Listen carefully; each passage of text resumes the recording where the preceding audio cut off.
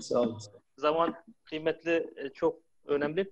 Ee, Sayın Büyükelçim öncelikle e, davetimizi kabul ettiğiniz için e, TİSİAD Yönetim Kurulu adına e, çok teşekkür ederim.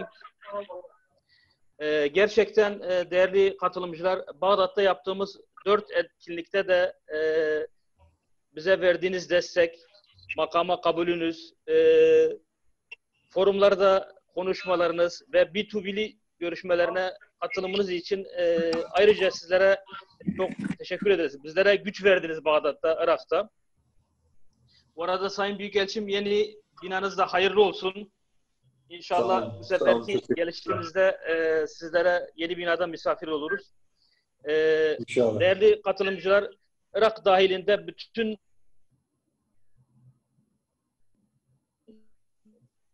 Türk vatandaşlarına ve iş adamlarına e, Sayın Büyükelçime tekrar teşekkür ediyoruz. E, her zaman Türk vatandaşlarımızın yanında olduğunu, bu zorlu süreçte fedakarca görev yaptığını e, biliyoruz.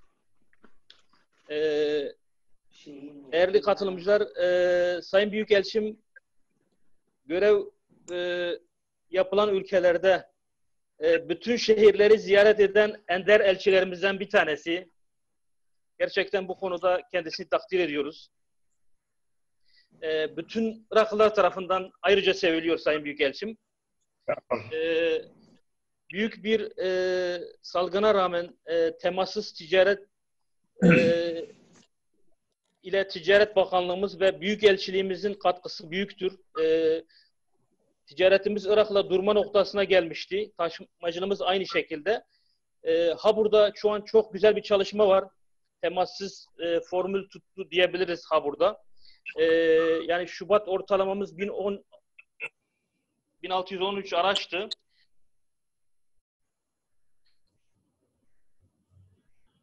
e, değerli katılımcı yakaladık. 24 Nisan'da bir 449 araç rakamını yaptık. Bu e, Irak'a çıkış yapan araçlarımız. E, şöyle söyleyeyim, 2019'un ilk 4 ayında e, 3, 3 milyar 216 milyon dolar ihracatımız vardı. Sayın Büyükelçimiz zaten bunlara değinecek. E, 2020'nin ilk 4 ayında 2 milyar 774 milyon dolar ihracatımız gerçekleşti. %17'lik bir düşüş. Bu da çok iyi bir rakam. Ee, yani 2019 yılının dördüncü ayında 859 milyon dolar ihracatımız vardı Irak'a. 2020'nin ilk e, pardon dördüncü ayında 564 e, milyon dolar gerçekleşti. Bu da e, Nisan'da yüzde 34'lük bir düşüş oldu ihracatımızda. Nisan ayında da Almanya, ABD ve den sonra en fazla ihracat yaptığımız üçüncü ülke şu an Irak malumunuz.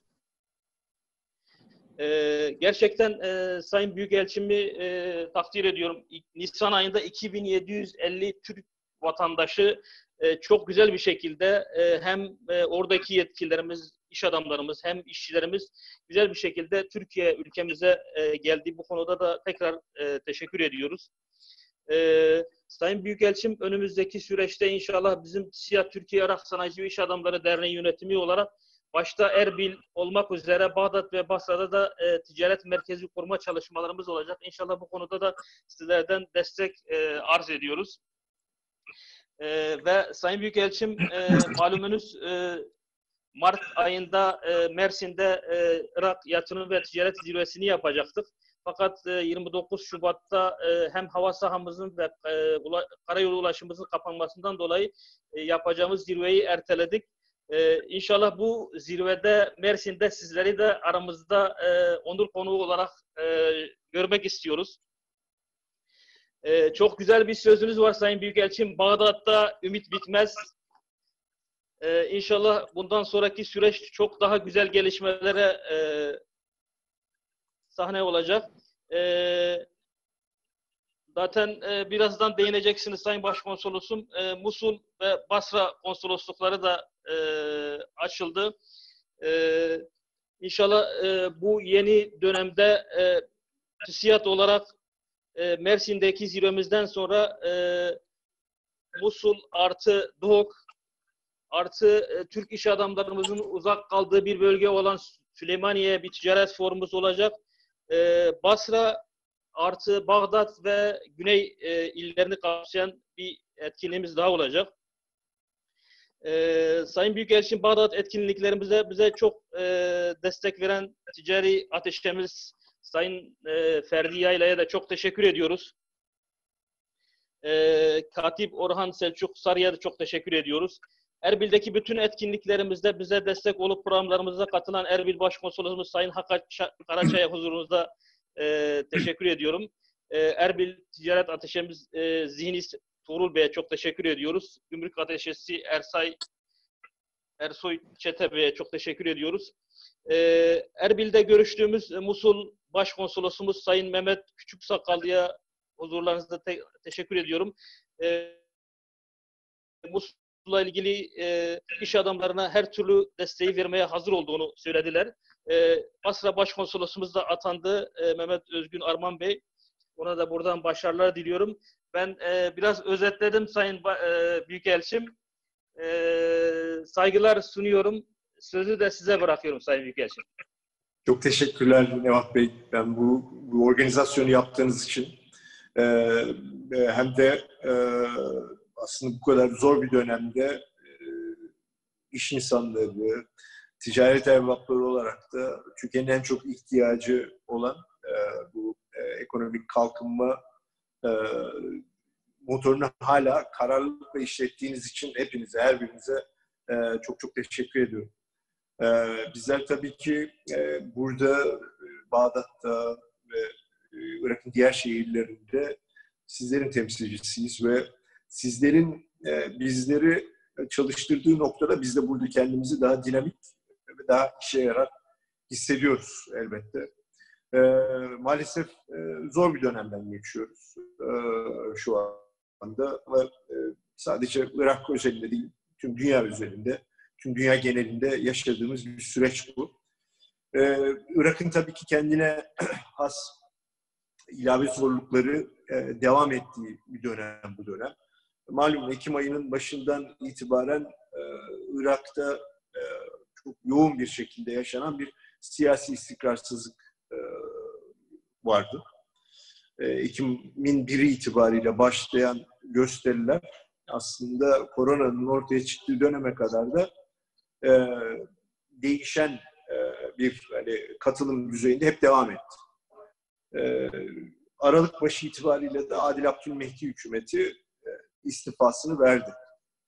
Halen Irak'ta yeni bir e, hükümet kurulabilmiş değil. Şimdiye kadar üç tane, e, üç ayrı siyasetçiye hükümet kurması için e, görevlendirme yapıldı. En son görevlendirme istihbarat başkanı e, yapıldı Mustafa Kazimi'ye. Türkiye'yi iyi tanıyan, e, bizimle de ilişkileri iyi olan bir e, isim olmakla birlikte e, tabii ki e, kabinenin burada e, kurulması e, Irak'ın bildiğimiz e, dengelerinde hem etnik hem de mezhepsel dengeleri içerisinde yürütülmesi gereken hassas bir mesele. Dolayısıyla e, üçüncü e, e, şekilde görevlendirilmiş bu siyasetçi de aslında e, 8 Mayıs itibariyle aslında hükümeti kurmak durumunda ve şu ana kadar baktığımızda e, onun da işi çok kolay değil. Bugün bir e, meclis oturumu düzenlenmesi öngörülüyor ve orada da e, hükümetin yeni üyeleri bir güven oyu e, düzenlemeye saat 9 itibariyle. Büyükelçisi. Ee, e, tabii ki e, bu Irak'ın bildiğimiz, alıştığımız belki siyasi istikrarsızlık ortamı.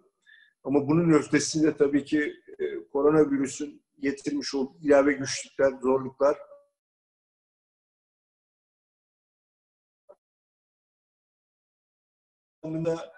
rakamlara baktığınızda e, hem belirlenen vakalar, ölüm sayıları e, dünyanın birçok ülkesine göre daha az olmakla birlikte buna da çok itimat etmemek gerekiyor. Çünkü ülkedeki şartlar e, belli. Şu ana kadar yapılan test sayısı bizim Türkiye'de iki günde yaptığımız test sayısı kadar Şubat ayından beri yaptıkları test sayısı. Dolayısıyla tanı, teşhis bağlamında çok itimat edilebilecek bir durumda değiller. bunun üzerine tabii Irak'taki en önemli gelir kaynağı olan e, petrol bağlamında da yine dünyada yaşanan ciddi bir e, kriz ortamı var.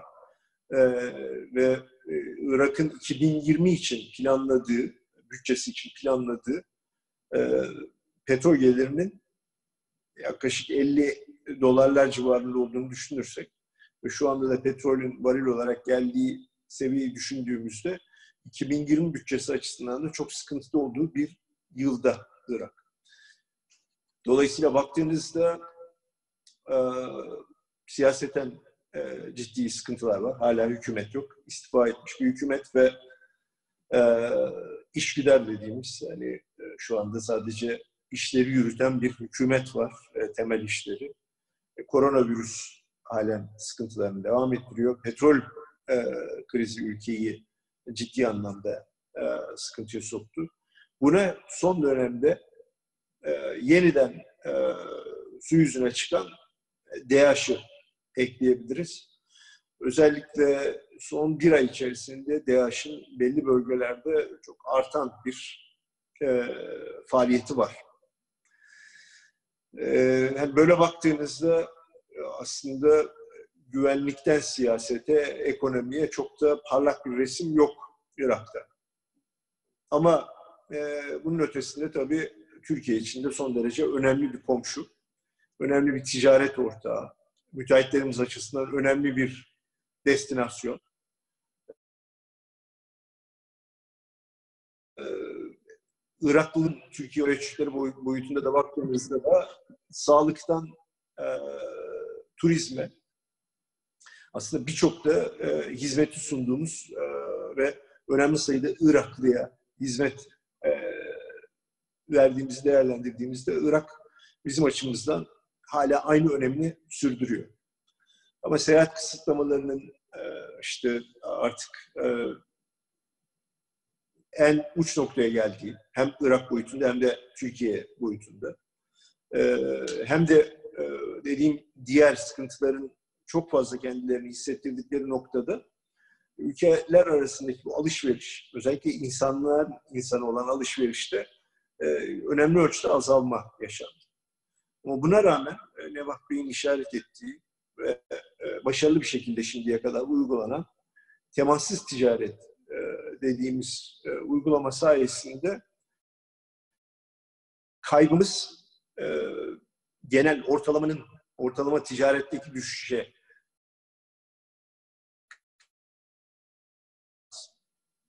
üretti geçtiğimiz yılla kıyaslandığında bir kaybımız var. Bu ama talepteki zaten genel düşüşün bir sonucu.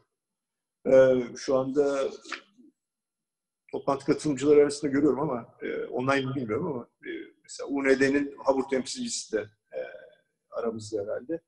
Bu vesileyle bu temassız ticaret bağlamında UNED'nin önemli katkısını yatsımamak lazım. E, Uluslararası Nakliyeciler Derneği bu anlamda Türkiye'nin önemli e, paydaşlarından, çözüm paydaşlarından. E, derneğimizin de katkısıyla bu temassız ticaret uygulamasını aslında örnek teşkil edecek şekilde e, uyguluyoruz e, bu aşamada. E, hemen yakın dönemdeki perspektife baktığımızda tabii ki Türkiye'de normalizasyon e, yönünde atılan bir takım adımlar var.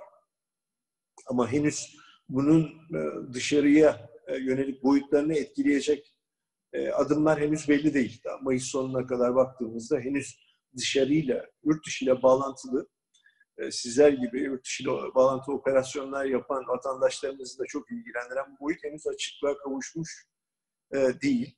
E, Irak boyutunda da, Irak tabii bizimle kıyaslandığında dışa çok daha bağımlı bir ülke.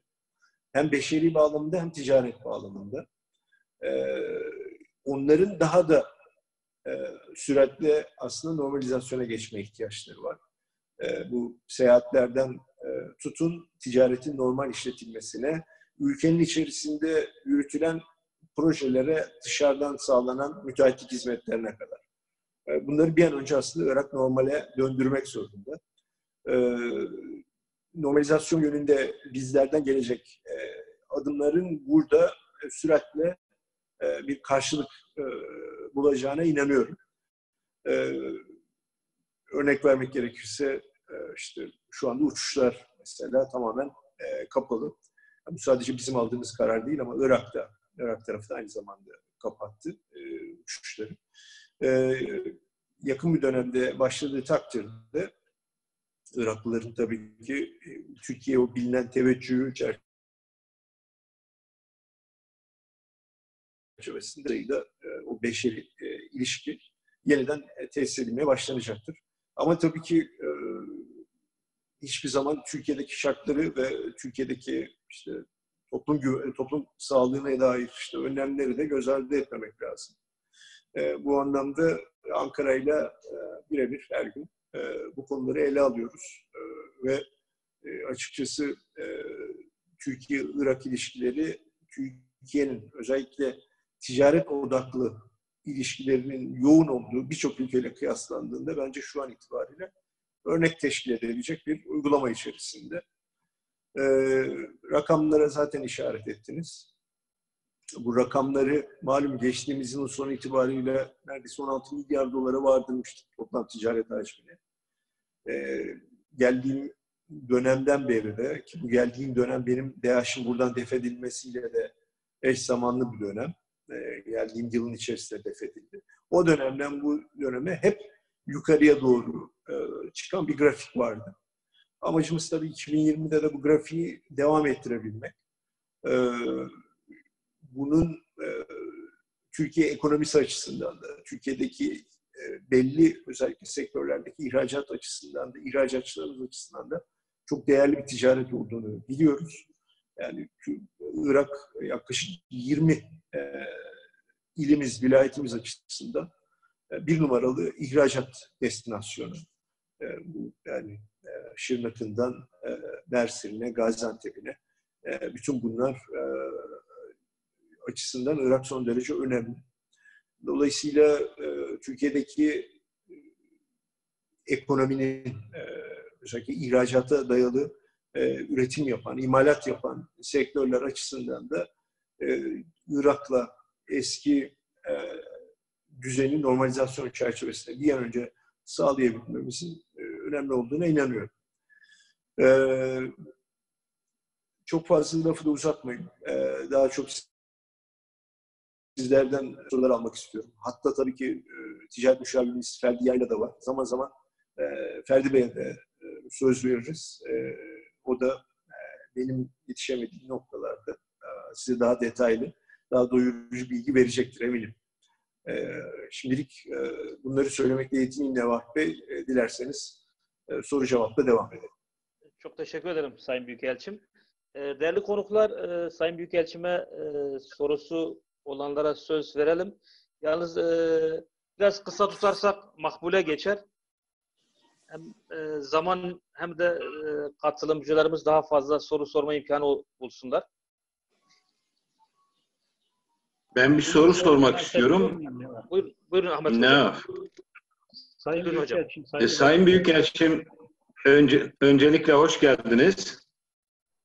Ee, bizi Bağdat'ta e, ağırladığınız o günler için de e, teşekkür ediyoruz. E, gerçekten e, sizin e, bu e, kendi nevi şahsına münhasır e, bir büyük elçilik yapmanızı biz takdirle her yerde de anlattık. Bizim ihtiyacımız olan bu. Yani daha böyle üstten bakan bürokratik insanları öteleyen değil, eşit mesafede misafirperverlik yapan, kucaklayan, güven veren bir tarzınız var. Bunu e, platformlarda da dile getiriyoruz. Dilerim e, bu daha da çoğalır. Ben iki tane soru sormak istiyorum. Birincisi bu e, DAEŞ'in tekrar e, güçlendiğini söylediniz.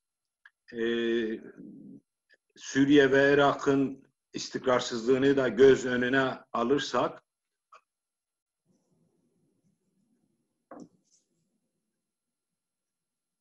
ortalama yeniden güçlenme yoksa zaten e, aslında böyle bir örtülü gücü vardı tam temizlenememişti çünkü buradan bakınca sanki biz işler artık e, DAEŞ açısından e, tekrar dirilmeyecek noktada olduğunu e, biliyorduk ya da bize öyle anlatılmıştı. Şimdi böyle bir durum varsa bana göre Orta Doğu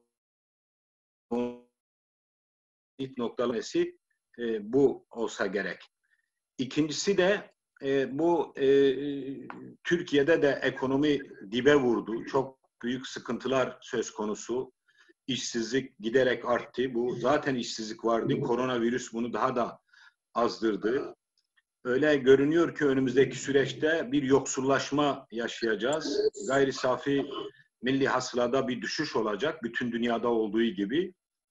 E, malumunuz bizim de ticaretimizin sizin belirttiğiniz gibi önemli bir kısmı Irak'la. E, 20 vilayetten bahsettiniz. E, bir de temassız ticaret dediniz.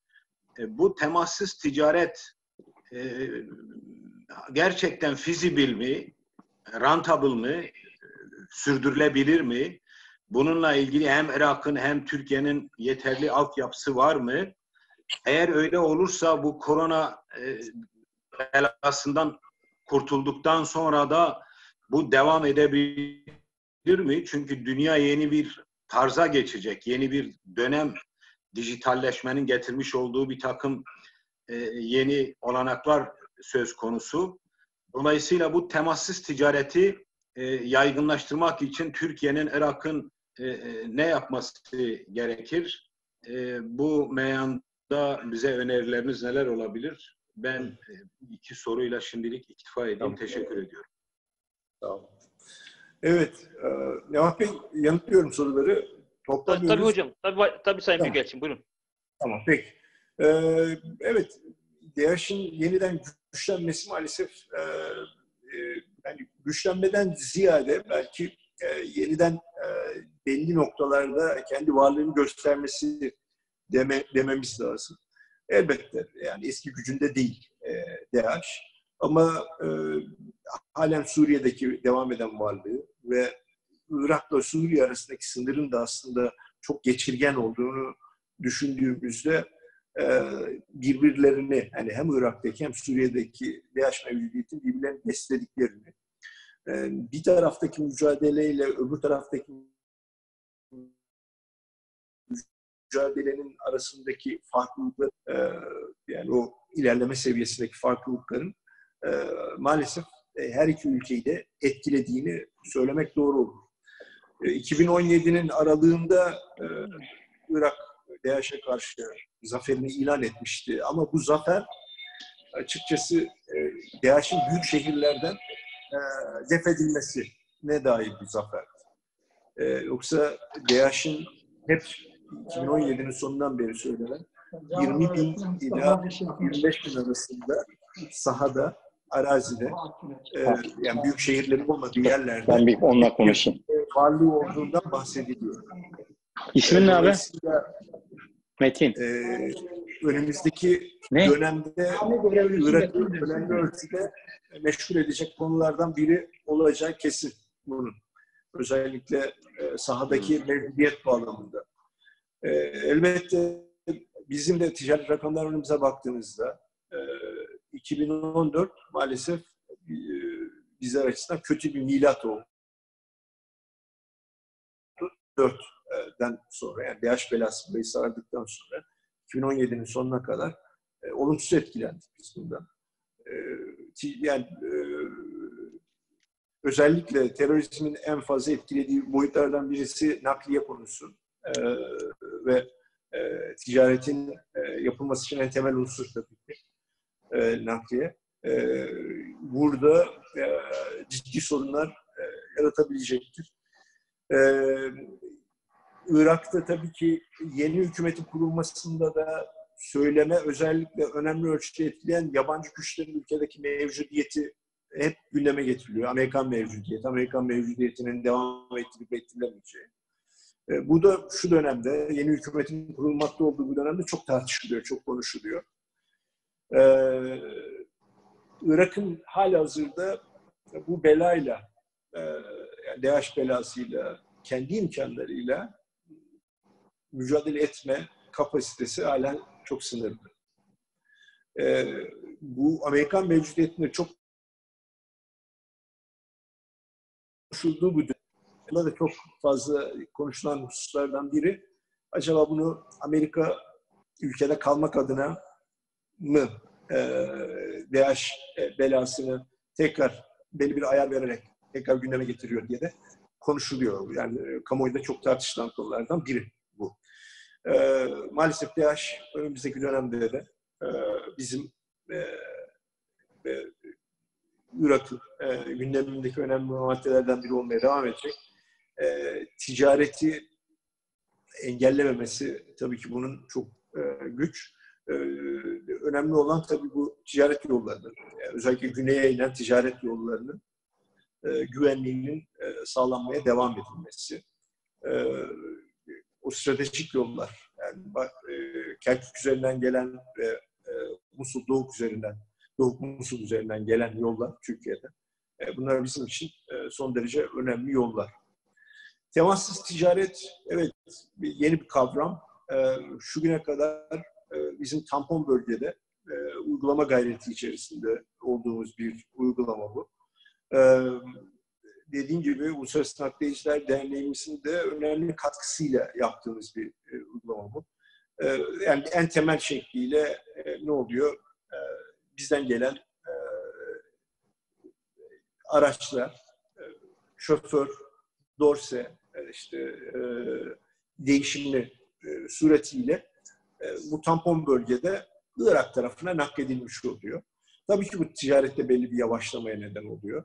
Ee, ama ticaretimizin kesilmemesini de sağlayan en önemli unsurlardan biri e, şu anda. Ee, Irak tarafının e, malum özellikle petrol dışı sektörlerde önemli ölçüde dışarıya bağımlı ve e, ihracata bağımlı. E, yeni yeni daha İran'la e, sınır kapılarını açmaya başladılar. Ve İran'da da e, hatırlayacaksınız Çin'den fazla sonra en fazla e, görülen yerdi. En endişe şeydi, e, kararlı bir şeyle, şaşırtıcı bir şekilde böyle İran'la sınır kapılarını kapattı. Ticaret dolayısıyla sonlandı. E, Çin zaten e, diğer önemli rakibimiz bizim burada. E, o da koronaya e, kaynaklık eden ülke olduğu için ona da daha mesafeli bir yaklaşım e, oluştu. Dolayısıyla bu kadar ihracata dayalı e, bir ekonomisi, tüketimi e, olan e, bir ülkede iki önemli rakibimiz en azından bu dönemde e, Çin ve e, İran e, belli e, sektörler bağlamındaki iki önemli rakibimiz aslında e, önemli darbe aldılar. Biz e, tabii ki e, mevcut işte sınırlamalar çerçevesinde yine de ticaretimizi devam ettirerek bu anlamda ciddi bir hani kazanç yani göreceli bir kazanç içinde olduk diyebiliriz temassız ticaret sayesinde. Ama orta uzun vadede bu sürdürülebilir mi e, derseniz tabii ki e, iki ülke arasındaki ticaretin yoğunluğuna baktığınızda o yoğunluğu bu e, yöntemle sürdürebilmek e, zor. Zaten şu anda temas ticaret bağlamında da mümkün olduğunca e, öncelikli tüketim mal, e, malzemelerine e, öncelik veriliyor. Ayrıca e, Irak'ın e, kendi tüketimi açısından da e, daha ön planda tuttuğu bir takım malzemeler e, oluyor. E, ve belli sektörlerde de talep azaldı tabii ki. O, o talebin azalmış olmasının veya sıfıra inmiş olmasının önüne geçemeyiz haliyle. Ama sistemik olarak baktığımızda o İran'ın ve Çin'in nispeten geride kalmış olması e, şu önümüzdeki aylarda da e, devam edecek bir e, trend gibi gözüküyor. Bunu belli bir noktada kendimiz açısından bir avantaja, daha orta ve uzun vadeli avantaja çevirebilmeliyiz diye düşünüyorum. Bunu da yapabilmek için o ticaretin önündeki işte bu engelleri mümkün olduğunca kaldırabilmemiz lazım. Geçtiğimiz yıl malum zor bir yıldı. 2019'da önemli e, ölçüde e, işte, bazı e, malların e, ihraç, ithaline Iraklılar yasak getirdiler. E, belli tarife uygulamalarında artışa gittiler oranlar e, açısından. E, bu sene mesela aynı yaklaşımı devam ettirebilmelerinin ben güç olduğunu e, düşünüyorum. Zira e, alternatiflerin azaldığı ve kendi e, ulusal e, üretimlerinin, üretim, üretim kapasitelerinde geliştirdikleri noktada Türkiye'den gelecek olan e, Türkiye'den ithal edecekleri e, belli ürünlere e, ciddi ihtiyaçları devam edecek. E, ticaretteki bu nispi, hani dönemsel azalmayı belki devam edecek o güçlü e, taleple e, ikame edebiliriz e, diye e, aklıma e, geliyor. Teşekkür Sayın- ederiz. Say- Sayın Büyükelçim teşekkür ederim. Değerli katılımcılar sizlerden ricam e, soru sormak isteyen bana WhatsApp'tan mesaj gönderirse çok makbule geçer. Ben e, sözü e, bilim kurulu üyemiz e, Abdullah Ayan e, gazeteci yazar eski Akdeniz İhracatçılar Birliği Başkanı'na e, veriyorum. Buyurun Abdullah Bey. Çok teşekkür ediyorum. Öncelikle e, verdiğiniz katkı için, mesainizi ayırdığınız için çok teşekkür ediyorum Sayın Büyükelçi. E, şimdi gördüğünüz Irak veya bizim de gördüğümüz Irak'ta şu anda üç kriz e, yan yana duruyor. Birisi zaten e, ta 1979'lardan beri süre gelen ama zikzaklar çizen, özellikle son günlerde çok daha rahat safhaya ulaşan bir siyasi kriz söz konusu. Ee, ve bu siyasi krizin de kısa vadede kolay kolay çözümü mümkün değil. Çünkü gerek İran'ın gerek Amerika Birleşik Devletleri ve diğer takım ülkelerin e, farklı hesap. Şimdi e, ikinci kriz asıl etkileyecek Irak'ı e, ekonomik kriz şeyle baş gösteren, korona kriziyle, koronavirüsüyle baş gösteren, e, küresel pandemiyle baş gösteren e, bu e, ekonomik kriz aynı zamanda da bir petrol krizi doğurdu arz talep dengesinden dolayı ve uzun vadede artık bundan sonra 30 dolarların üzerini çok zor görebileceğimiz oysa Irak'ta sadece personel maaşlarının karşılanması için petrolün 40 dolarlar civarında olması gerektiği gibi bir e, hesaplamayla karşı karşıyayız. E, benim merak ettiğim husus şu. Şimdi e, anayasa gereği, yeni anayasa gereği bildiğiniz gibi e, Irak Kürdistan bölgesine verilmesi gereken paylarla ilgili çok ciddi sıkıntılar var ve kavgalar. Orta ve uzun vadede siyasi kriz ve ekonomik kriz, e, Irak Kürdistan'ı ile merkezi hükümet arasındaki dengeleri nasıl oluşturacak? E, bence çok önemli bir husus bu. Bundan sonra bu dengeler nasıl sağlanacak? Çünkü orta meydana gelebilecek her kriz doğrudan doğruya Türkiye'yi ve o sizin çok az önce belirttiğiniz çok önemli gördüğüm 20 kentin doğrudan doğruya ekonomik hayatını etkileyen bir ülke Irak. Yani e, Türkiye için belki üçüncü sırada olabilir ama e, örneğin Mersin için, örneğin Antep için, örneğin Şırnak, Mardin, Diyarbakır için Irak'ın e, hastalanması Türkiye'nin yatağa düşmesi anlamına geliyor bu 20 kent anlamında. O kadar da organik bir bağ içindeyiz. E, orta ve uzun vadede nasıl, neler öngörüyorsunuz bu siyasi ve ekonomik krizin e, Irak'ın bütünlüğü açısından? Evet, evet son derece önemli. Ee, yani Irak'ın kendi içindeki dengeler de e, önümüzdeki dönemde çok yakından takip etmemiz gereken bir bir konu. E, şu anda da zaten yeni hükümetin kurulma e, aşamasında çalışmaların devam ettiği noktada bu bahsetmiş olduğunuz bu iç denge yine gündemi en çok meşgul eden konulardan biri. E, malum e, hali hazırda aslında e, Irak'ta e, bütçenin ne şekilde pay edileceği, e, bütçeden kaynaklanan e, hakların ve sorumlulukların nasıl uygulanacağına dair çok iyi tanımlar yok. Ve bu tanımların olmadığı noktada biz e, hem Irak geneliyle hem de aslında fiziki olarak komşumuz olması nedeniyle de e, bölgesel yönetimle e, ilişkileri rayında tutma gayreti içerisindeyiz. E, bu e, bahsetmiş olduğunuz tabii ki petrol e, krizi ülkenin yaklaşık %95 kaynağının petrolden geldiğini düşünürsek ve 2020 için planladıklarının yarısına e, otomatikman indiğini düşünürsek e, bütçelerini e, ülkeyi kaçırmış olarak e, belli e, alanlarda e, özellikle yatırım alanında e, bir darboğaza sokacak gibi gözüküyor.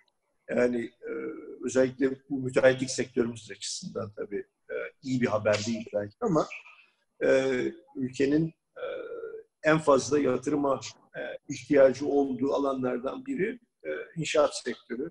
E, halde hazırda daha DAEŞ'in e, sonucu olarak milyonlarca ev kalmış insana ev dahi sağlanabilmiş değil e, ülkede. E, yaklaşık 4 milyona yakın konuta ihtiyaç var Irak'ta. Ve baktığınızda Türkiye açısından bu son derece büyük bir imkan gibi e, gözükse de bunu sağlayabilecek bir e, maalesef devlet sektörü e, yok e, Irak'ta. Yani halkına, evsiz kalmış olan halkına e, barınma sağlayabilecek, e, ucuza konut sağlayabilecek bir e, bütçe imkanı bu yıl içerisinde de çok gözükmüyor. E, dolayısıyla e, önümüzdeki dönemde e, Irak'ın hem e, bu e, sabit giderleri dediğimiz az evvel işaret etmiş olduk ve aslında toplumda ekonomik canlılığı sağlayan en temel şey maaş ödemeleri. Ancak onu sağlayabilecek bir bir bütçeden bahsediyoruz. Dolayısıyla maaş ödemelerinin ötesine geçebilecek bir yatırımlar için ayırabilecekleri bir bütçe olmadığı görülüyor. E, bu tabii kuzeyle yani Kürt bölgesel yönetimiyle e, merkezi hükümet arasında şu anda en fazla e, konuşulan hususlardan biri e, petrol gelirlerinin nasıl e, pay edileceği konusuydu. E, geçtiğimiz yıllara kıyasladığımızda bu yıl bunun biraz daha özellikle petrol fiyatlarının düşmesi ardından daha hafiflediğini görüyoruz. Şu aşamada e, Kürt bölgesel yönetimi e, hep e, aslında e, konuşulan bu günlük 250 bin varil petrolün gelirini nasıl e, merkezi hükümete e, nakledeceği hep tartışılırken şimdi merkezi hükümete e, Kürt bölgesel yönetimi gayet net bir şekilde dedi ki biz hazırız e, bu e, petrolden kaynaklı olan gelirimizi paylaşmaya, vermeye. Yeter ki merkezi hükümet bize bütçeden payımızı versin. Tabii bu Bağdat'ta e, şöyle algılandı. E, güne kadar hep sorun çıkartan Kürtler petrol fiyatları bir anda düştü ve bunun üzerine e, bir anda çark ettiler ve petrol konusunda daha evvel çıkarttıkları o sorunları çıkartmıyorlar şeklinde bir algı yarattı Bağdat'ta E, ama bu petrolün gelirin, petrol gelirinin nasıl paylaşılacağı konusu önümüzdeki dönemde de e, ülkeyi meşgul e, edecek. Hükümetin kurulma sürecinde de önemli olacak bu. Hükümetin kurulma pazarlıklarındaki en önemli hususlardan biri bu. E, işte anayasaya işaret ettiğimiz. E, Kürtlerin talep ettiği %17'ye varan bir pay istiyorlar bütçede onlar. E, ama şu an itibariyle %12'lerde kalan bir paydan bahsedebiliriz. E, önümüzdeki dönemde e, e, hem e, dediğim gibi fiziki komşumuz olması itibariyle e, Kürt bölgesel yönetimi oradaki ekonomik e, e, canlılık e, bizim ticaretimiz açısından, yatırımcılarımız açısından önemli olmaya devam edecek. Dolayısıyla e, Kürt bölgesel yönetiminin de e, ekonomik canlılığını muhafaza edebileceği bir e, altyapının oluşturulması Irak'ta e, önemli diye e, düşünüyoruz. Hem e, ülke içindeki huzur, e, uyum açısından hem de e, dediğim gibi e, Türkiye'den baktığımızda önemli bir e, ihracat destinasyonumuzdaki o ekonomik canlılığı, e, beşeri hayatın e, canlılığının devam edebilmesi açısından E, sadece dolayısıyla Bağdat açısından değil, aynı zamanda Erbil açısından da ciddi bir sıkıntı e, olarak gözüküyor şu anda bu bütçe meselesi. Çok teşekkür ederim. Tamam. Teşekkür ederim Sayın Büyükelçim. Ee, Avukat Mehmet İhsan Kalkan, es, e, Cuda Grup söz sizde. Evet, e, merhabalar Sayın Büyükelçim. Öncelikle saygılarımı sun saygılar sunuyorum. Çok teşekkürler aydınlatıcı bilgileriniz için. E, şimdi bil, bildiğiniz üzere Çin'in Wuhan kentine meydana gelen virüsle birlikte dünyada e, son derece yıkıcı etkileri ortadadır. E, binlerce ölüm bir yana sosyoekonomik sorunlar e, çok net bir şekilde şu anda dünyanın takibi e, altındadır. Dünya Gıda Programı tarafından hazırlanan raporda 500 milyon kişinin daha açlık sınırıyla karşı karşıya kalabileceği öngörülmektedir. Ayrıca bir yandan da baktığınız zaman Amazon e, işte şu anda Zoom sitesine bağlandığımız sitelerdeki e, şirketler e, inanılmaz bir e, kazanç elde etmektedirler. Bu birincisi bu çelişkiyi nasıl açıklıyorsunuz? İkincisi şimdi Çin'in Wuhan kentinde ortaya çıkan virüs ile birlikte global dünyada bir değişimden özellikle ticari bir değişimden bahsedebilir miyiz? Bunun Orta Doğu'daki etkileri nelerdir? Petrol fiyatlarının düşüşü Irak-Türkiye ekonomik ilişkilerini nasıl etkileyecektir? Temassız ticaret deniyor. Bu temassız ticaretlerle ilgili e, ana ofisler kurulabilir mi? Mesela e, Türkiye'de, Bağdat'ta e, sorunların hızlı bir şekilde giderilmesi anlamda ana ofisler kurulabilir mi? Ayrıca e, biliyorsunuz e, bu değişim e, rüzgarı bütün dünyada esmektedir. Bundan sonra eski bir dünya düzenden bahsedemeyeceğiz. Yeni dünya düzende biz gençlere tam olarak ne tavsiye etmek istersiniz? Yani biz tabii ki doğal olarak yerimizde e, oturup bu gelişmeleri, değişimleri izleyemeyiz ve seyirci kalamayız. Biliyorsunuz artık global dünyada her şeye ulaşmanın da çok daha kolay olduğu e, bir süreç yaşıyoruz. Ee, özellikle ben bir örnek de vereyim. Biz e, Kenya'da başvurduğumuz e, Birleşmiş Milletler'in bir ihalesini e, Uganda'da uygulamak suretiyle 6 hastaneye X-ray cihazları kurduk. Yani biz aslında bunu da temassız bir şekilde yapmıştık daha bu korona olayları başlamadan önce. Bunu tamamen e, internet ortamında teknolojinin verdiği imkanlarla bu girişimi yapmıştık ve başarılı olmuştuk. Dolayısıyla bize ne gibi e, tavsiyelerde bulmak istersiniz? Bundan sonraki ana değişim noktaları neler olabilir? Saygılar evet. sunuyoruz Sayın Büyükelçim. Sağ olun. Tamam. Çok teşekkürler. Var önemli, çok önemli sorular ama yani genel çerçevede yanıt vereyim tabii bunlara. E, yani çok fazla kullanılan bir e, terim vardır. Yani zamanın ruhu. E, bir bu zamanın ruhunu anlama ya çalıştığımız bir dönemdeyiz. Çok sürpriz bir bir gelişmedir bu. Küreselleşmenin getirdiği bir bir hızla yayıldı bu hastalık. Hep küreselleşmenin nimetlerinden bahsederken bir anda küreselleşmenin aslında böyle bir belanın da ne kadar hızlı yayılabildiğini e, gösterdiği bir dönemdeyiz. Dolayısıyla e, belki işte o küreselleşmenin e, daha e, bizi e, biraz daha ihtiyatlı e, olmaya ittiği ve küreselleşmeyi yine kullanıp da ihtiyatlı olabileceğimiz bir takım yöntemleri kullanıyoruz. Yani işte o söylediğiniz Amazon Zoom şu anda kullandığımız işte bu aslında yine küreselleşmenin bir nimetini kullanıyoruz ama bu zamanın ruhuna en uygun olduğu için onlar şu anda gerçekten ciddi bir çıkıştalar. ve bu çelişkili dönem bir süre daha devam edecek gibi ve e, açıkçası o zaman ruhuna en hızlı çözüm bulabilenler, e, o ihtiyaçları en hızlı karşılayabilenler kazanç çıkacaklar. Bence bu temassız ticaret aslında öyle bir e, öyle bir e, model. E, hem sürdürülebilir mi? E, bizim e, yani fiziki komşumuz olan e, bir ülkeyle bunu bu şekilde yürütebilmemiz e, mümkün mü? E, bu e, açıkçası arzu ettiğimiz, istediğimiz idealimizdeki ticaret yöntemi değil. Malum biz bütün bunlar olmaya başlamadan önce biz Irak'tan talebimiz transit ticaret e, hakkına sahip olmaktı. Yani biz şunu istiyorduk Irak'tan. Bizim kamyonlarımız girsinler kuzeyden biz Basra'ya kadar mallarımızı kendimiz indirelim. Hatta Kuveyt'e geçelim, e, Körfez'e mal indirelim. Bizim çok ciddi ticaret filolarımız var. E, biz bunu yapabiliriz. E, Irak'ta önemli bir ticaret e, hub'ı olur.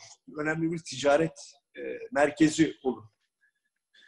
E, Irak bence halen önemli bir ticaret hub'ı olabilir. Ama e, işte belki biz de söylemimizdeki diğer şeyleri biraz daha ön plana çıkarabiliriz. Yani temas ticarete belki e, yine uygun veya aynı anlayışla olabilecek.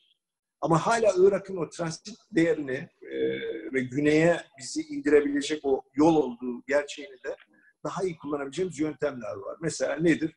Demir yolu. Çok fazla e, dillendirmediğimiz bir, e, bir şey ama biz Irak'la uzun süreden beri bunu söylüyoruz. Malum bizde de yok. Bizde de Nusaybin'de bitiyor yolu. Aslında e, Nusaybin'den Irak sınırına kadar e, demir yolunu tamamlamaya biz hazırız. Yeter ki Irak tarafı da e, Rabia'da biten yani Rabia e, yani Suriye-Irak sınırında bir nokta. Malum Rabia'dan Kamış diye geçiyor. Kamış'tan Nusaybin'e devam ediyor bizim tren yolu. Dolayısıyla doğrudan bir tren yolu hattımız Mesela tren yolu hattı aslında e, temaslı ticaret dediğimiz olguyu en iyi e, uygulayabileceğimiz alanlardan biri. E, ve konvansiyonel bir yöntem aslında, geleneksel bir yöntem ama e, işte şu zamanın ruhuna daha uygun olacak bir yöntem e, gibi e, gözüküyor. Şu bir gerçek yani e, Irak'ın, e, Körfez'deki ülkelerin Türkiye'nin sattığı mallara olan ihtiyacı orta uzun vadede daha devam edecek. E, dolayısıyla hani böyle yolların, böyle ticaret yöntemlerinin Türkiye'ye ve bu ülkelere sağlayabileceği fırsatları değerlendirdiğimizde aslında şu konularda kararlı adımlar atabilmek önemli. Türkiye'de bu adımlar atabilecek bir güçlü bir hükümet var. Ama işte diyoruz ya az evvel hocamızın da işaret ettiği bu krizler, birbirlerine böyle tamamlanan uç uca eklenen siyaseti ekonomiye, ekonomiyi insanların yaşamlarına kadar giden o krizler e, ya bu, bu coğrafyalara geçtiğimiz noktada, Türkiye'den bir adım ileri geçtiğimiz noktada maalesef bu güçlü hükümetler, güçlü politikalar, güçlü uygulamaları e, yapabilmek zor. O noktada da bize güvenmeleri gerekiyor. Yani bize güvenip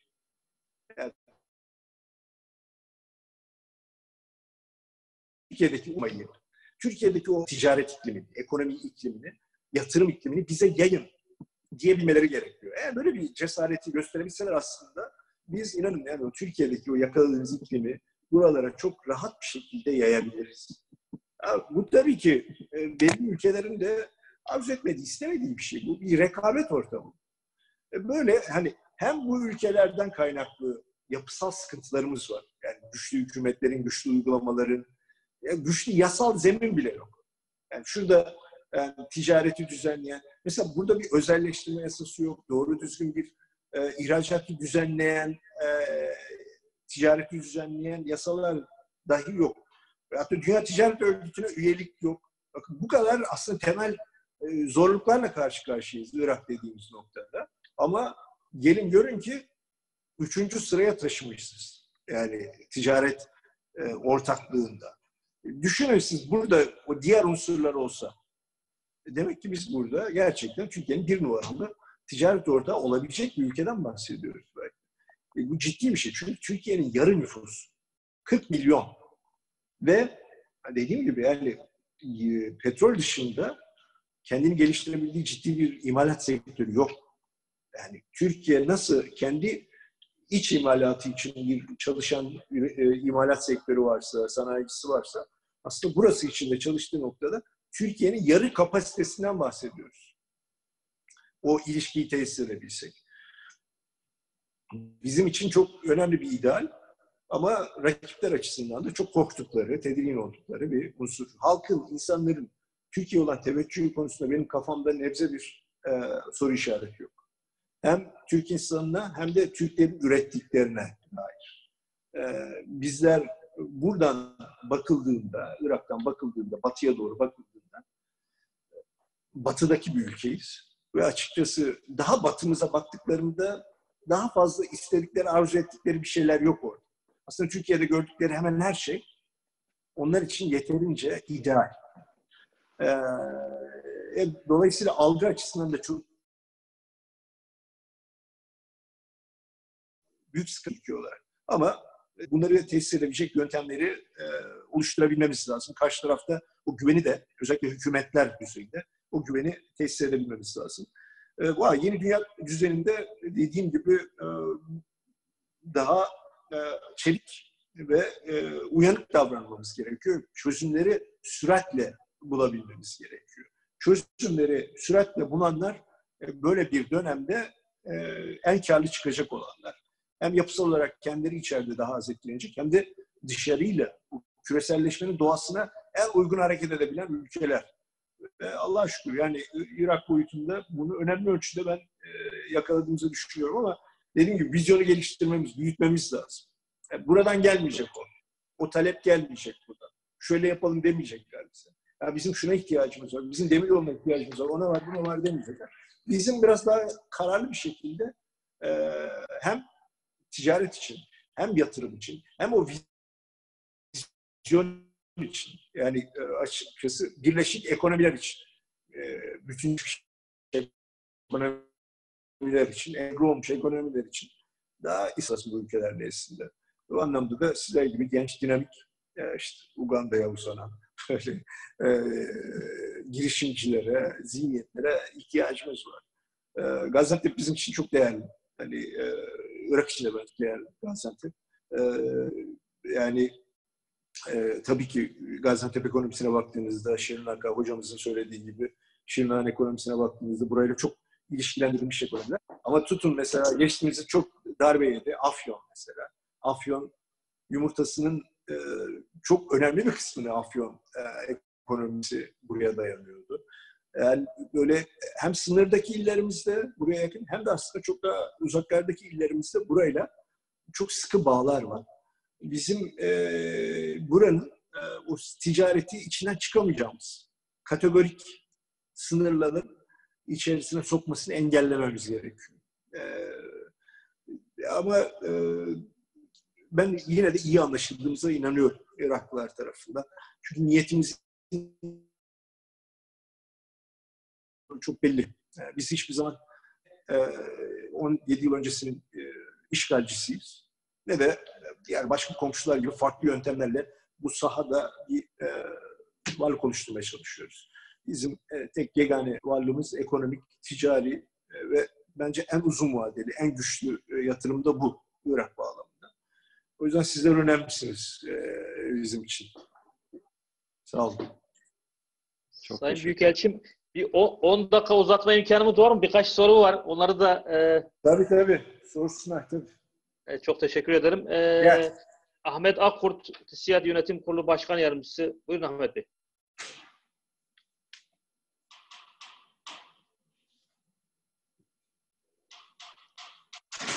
Sesiniz yok Ahmet Bey. Sesiniz kapalı.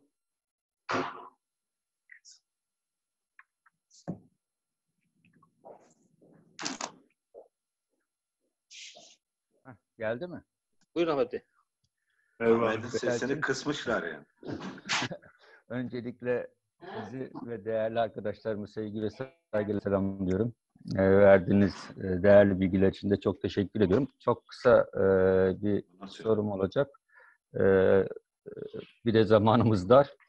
Şimdi e, Sayın Büyükelçim biz e, o yöreye yani 13-14 senedir devamlı gidip gelen e, e, biri olarak e, gözlemlerimizi şey yapıyorum. Daha önce e, birkaç başkanlığım vardı. Hem Federasyon hem Mersin İş Adamları Derneği'nin. Bu e, vasıtayla da gelip gitmiştik. E, 370 kilometrelik kabur e, şey Irak sınır hattımızda şu anda iki kapımız bulunuyor. Bir tanesi e, ticari olarak çalışan Habur Halil İbrahim kapısı, diğeri de Üzümlü sınır kapısı. Burada güvenlik ve e, coğrafi şartlardan dolayı e, ticariden çok insan giriş çıkışları yapılıyor. ama şey tarafına bakıyoruz, e, İran tarafına 8 tane sınır kapısı var. Şimdi e, mesela bir ara Ovakoy sınır kapısıyla ilgili bir çalışma yapıldı, durdu. E, şimdi öncelikle bizim Habur sınır kapımıza giden yol, yani daha e, yeni yeni e, çift yola dönüştürülüyor. Daha ucu da tam tamamlanmadı. Halbuki e, o kadar e, dağları, vadileri, geçilmez dediğimiz coğrafi zor yerleri geçerek e, iki şehri, ilçeleri birbirine ba- bağlayabilecek bir e, altyapımız da var. Bu sınır kapısının bu kadar yıl boyunca tam düzenli bir şekilde o yolu niye yapamadık? Yani bu hadi karşı tarafta bir sorun olabilir ama bu kendi tarafımızda. Şimdi e, böyle şeyler de mesela tırların park yerleri olsun, giriş çıkışlarda yani bir, bir türlü orada bir düzen kurulamadı. Buradaki şey e, bizim o biraz önce dediğiniz gibi üç, üçüncü e, ticari kapımız yani dünyadaki e, ihracatta üçüncü. Bunu bi- birinciye getirmemiz için bu, bu tür çalışmalar e, çok hızlı bir şekilde yapılması gerekmez mi? Bir de yani diğer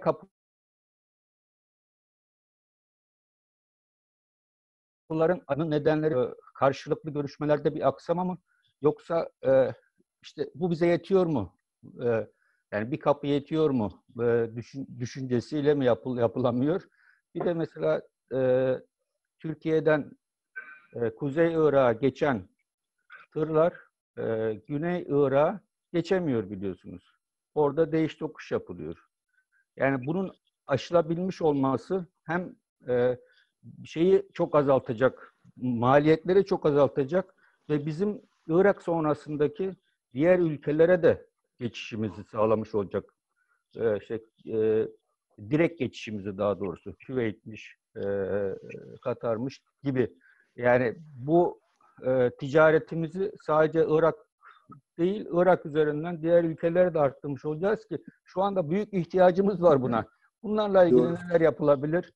E, değerli görüşlerinizi almak istiyorum. Evet. Sayın Büyükelçim müsaadeniz olursa soruları e, hepsini alıp ondan sonra Tamam peki peki. zamandan Buyurun. kazanmak için daha iyi olmaz mı? Tabii tabii buyurun. E, O- Oğuz Güner Bey e, bir sorusu var. Oğuz Bey. Sayın Büyükelçim, eee, değerli katılımcılar, Sayın Başkanım, herkese selamlar. Eee, Ben KM Dastur eee, Sigorta ve Restoran Brokerlığı'nı temsilen katılıyorum eee, toplantıya. Şimdi eee, hem Sayın Büyükelçimin hem de eee, bazı sayın katılımcıların üzerine eee, şiddetle durduğu eee, bir konu var ki o da hem Irak'ın e, siyasi istikrarsızlığı 2001'den beri özellikle Sayın Büyükelçimin üzerinde durduğu bir konu. 2001'den beri Irak'taki siyasal isti- istikrarsızlık ve bunun hem Irak ticaretine etkileri hem de Türkiye ticaretine olan etkileri.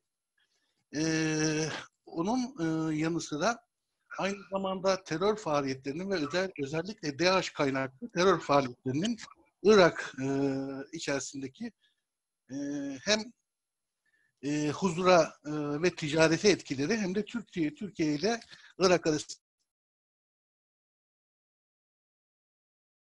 ticarete etkileri. Şimdi bahsetmemiz de bunun ticarete yansıması ve ticarete yansımasının sebebi de sigortacılık faaliyetine yansımalarını özellikle ben e, hem bir tespit hem de bir soru olarak e, Sayın Büyükelçimize iletmek istedim. E, zira e, Irak ile Türkiye arasındaki ticarete terörü de kapsayan, özellikle halk hareketleri, isyan tarzı e, güvenceleri de kapsayan bir teminatlandırma yapısı verilemiyordu. Irak tarafında sigorta şirketlerinin verdiği teminat sayısı yok idi bu seneye kadar. Çünkü özellikle yaptığımız görüşmelerde, yurt dışında Londra merkezli yaptığımız görüşmelerde Irak'a terör ve savaş haliyle dahil olmak üzere nakliyat sigortası e, denilen hepinizin zaten yaptırdığı nakliyat sigortası teminatını alabilmiş durumdayız. Benim özellikle terörü de kapsayan bu ürünü alabilme noktasında Sayın Büyükelçime sorum şu olacak. Irak'ın ticaretinin e, taşımalarının bir bütün olduğunu varsayarsak e, bunun sigortacılık sektörünün de ticareti tamamlayan finansal bir sektör olduğunu varsayarsak, bunun ticaretin artma noktasında, Irak ile olan ticaretimizin daha güvenli bir şekilde yapılması noktasında bir katma değer oluşturacağını düşünüyorum. Siz de bu görüşe katılıyor musunuz? E, ikinci bir görüşüm, e, ikinci bir e, şeyim daha var. Eğer e, izin verirseniz Sayın Başkanım. E, o da şu, e, Sayın Akkurt e, görüşünde e, özellikle e, transit taşımalarda güney tarafına yapılacak olan taşımaların tek araçla yapılamayacağını ve özellikle burada araç değişiminin yapılması gerektiği, Sayın Büyükelçinin de özellikle Profesör Doktor Ahmet Özer'in sorusunun cevaplanması sürecinde bu temassız ticaret noktasında dorse değişimi vasıtasıyla e, bir değişimin yaşandığını, yani bir nevi araç değişiminin ve şoför değişiminin yaşandığını ifade etmişlerdi.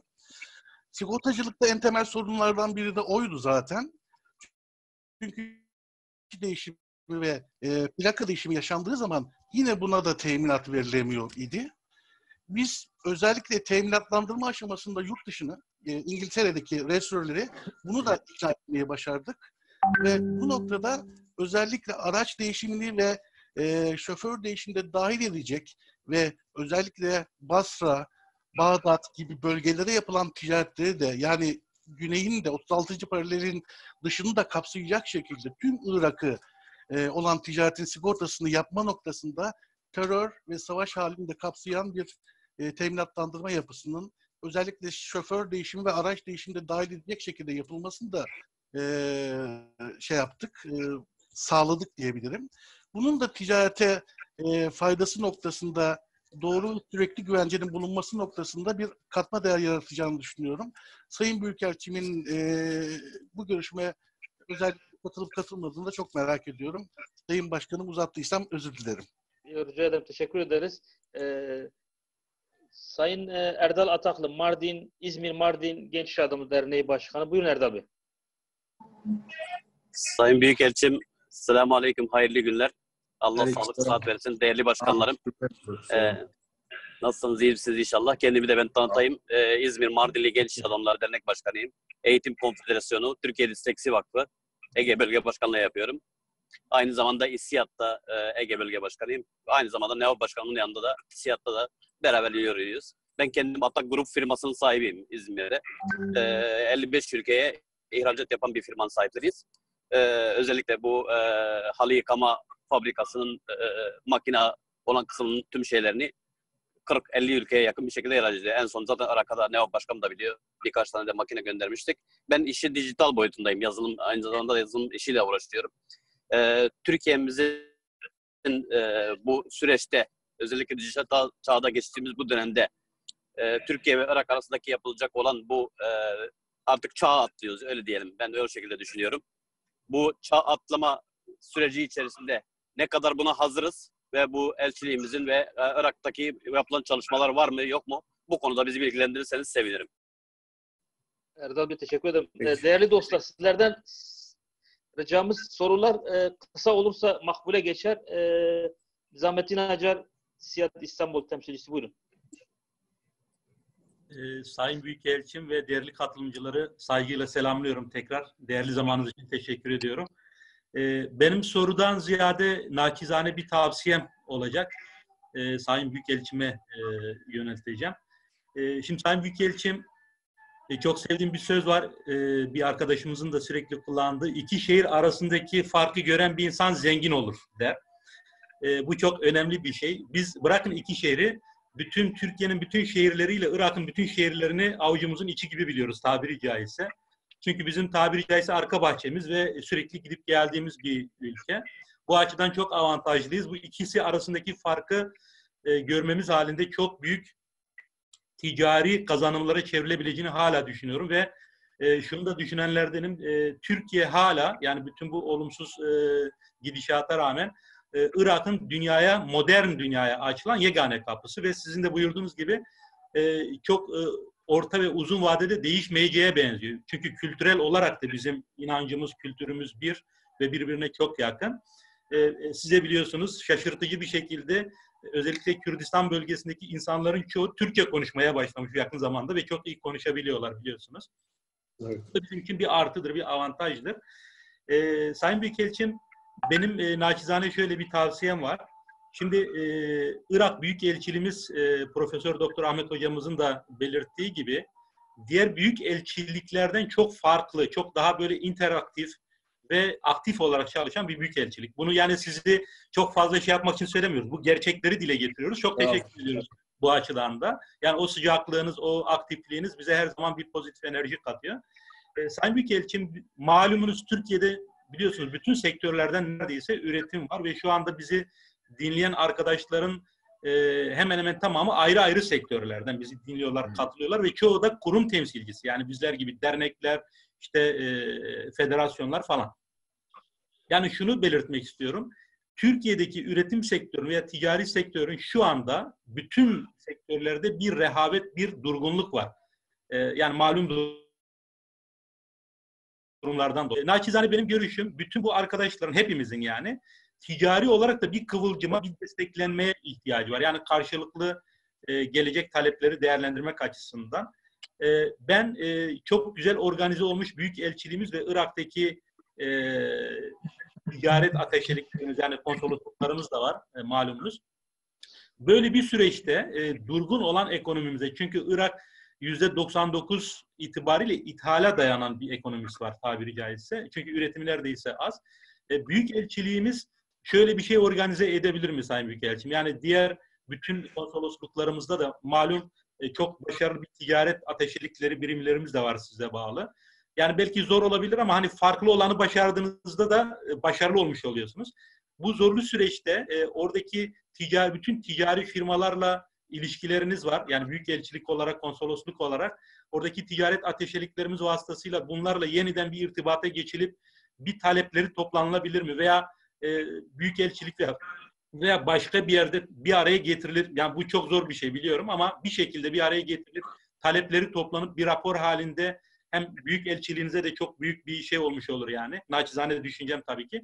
Bunu da bir rapor halinde veya bir liste olarak e, bizlerle veya bizim gibi federasyonlarla iş e, vakıflarıyla veya dernekleriyle paylaşılabilirse en azından bu süreçte ekonomiye çok büyük ivme kazandıracağını düşünüyorum. Saygılar sunuyorum. Teşekkür ediyorum şimdiden. Samet'ime teşekkür ederim. Sayın Büyükelçim, üç sorumuz var ama değerli dostlar kısa tutalım lütfen. Ee, Hava Hanım, Hava Arslan Yönet Siyah Yönetim Kurulu üyesi. Buyurun. Merhaba. Ben Siyah Yönetim Kurulu üyesi Hava. Mersin'den katılıyorum. Mali müşavirim. Ee, Sayın Büyükelçim hoş geldiniz.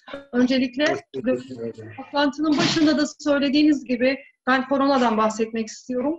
Dediniz ki e, Irak'ta Şubat ayından beri yapılan test sayısı, Türkiye'de yapılan test sayısının iki gününe tekabül ediyor. İki güne tekabül ediyorsa 80 bine yakın bir test yapılmıştır. 40, 40 milyon nüfusu olan bir ülkede 80 bin az değil midir? Bu oradaki yaşamı nasıl etkiliyor?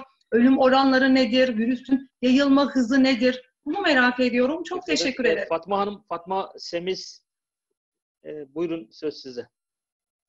Ee, ben e, genel ticari anlamda konuşmaktansa bu son dönemde yaşadığımız Covid ile ilgili e, ülkemizin, e, Türkiye'nin Irak'la olan ilişkilerini daha çok sağlamlaştırmak adına Türkiye'nin Bağdat'a Sayın Büyükelçimizin talebiyle maske ve dezenfektan yardımı yapılmasının bir sonraki dönemde ilişkilerimizi daha çok sağlamlaştıracağını düşünüyorum.